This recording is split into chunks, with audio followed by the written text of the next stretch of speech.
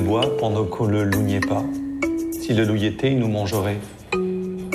Cette chanson-là, est-ce que je l'ai chantée quand j'étais petite fille?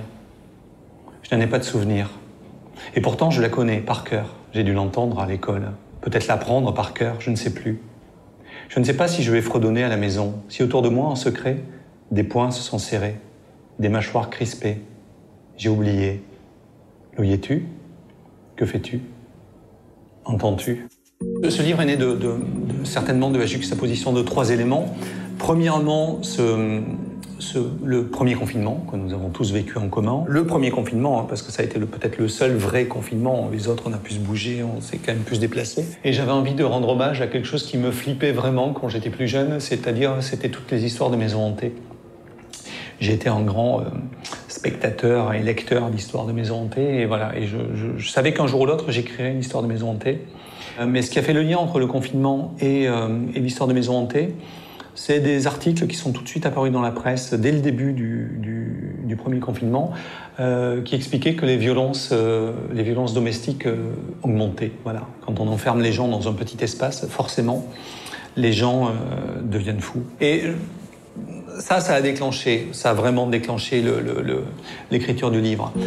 Bizarrement, alors que c'est un livre sur lequel je joue beaucoup, sur, la littérature de genre, la maison hantée, et que j'ai voulu euh, euh, flippant, euh, voilà, j'avais envie qu'on ait peur en le lisant.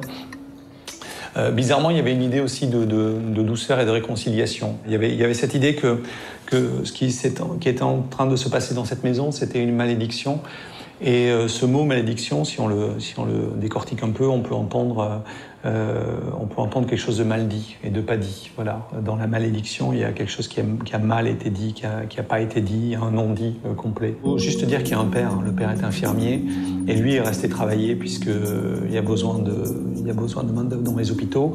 Et ils ont choisi ensemble, le père et la mère, de, de, séparer la famille parce qu'ils ne savaient pas ce qu'il allait ramener comme maladie à la maison.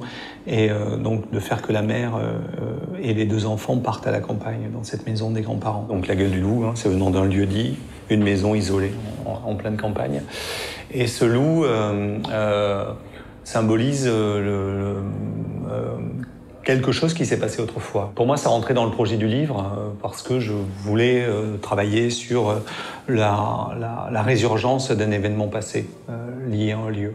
J'ai envie de, de, mettre en scène des personnages qui, à un moment ou à un autre, vont trouver euh, de la ressource par eux-mêmes, vont trouver un moyen par eux-mêmes d'essayer en tout cas de, de, bouger les choses, de ne pas juste accepter comme ça, d'être bombardé par le réel, euh, d'éléments plus ou moins durs, plus ou moins difficiles, de drames, de, de violence, mais qui vont essayer de, de, mettre en place quelque chose pour lutter contre. Jo, la première chose qu'elle trouve pour lutter contre le malaise diffus qu'elle ressent, pour lutter aussi contre ses propres angoisses, etc., ça va être l'écriture de poésie. Voilà, c'est son moyen à elle de ça, et puis la course. Elle court, elle se défoule physiquement, elle a besoin de bouger son corps. Des choses leur tombent dessus. C'était le cas de Lali dans Tenir debout dans la nuit. Euh, euh, des choses violentes leur tombent dessus, et à un moment, ils, trouvent en eux le moyen de, de s'opposer, ou en tout cas d'essayer de trouver une solution euh, à, la, à l'aspérité, à la dureté du réel. Oui, oui, j'écris de la poésie par ailleurs, et je trouvais ça plutôt intéressant, parce que quand on, quand on parle de poésie à des jeunes gens, ils se disent « oh là là ». Et euh, j'essaye de...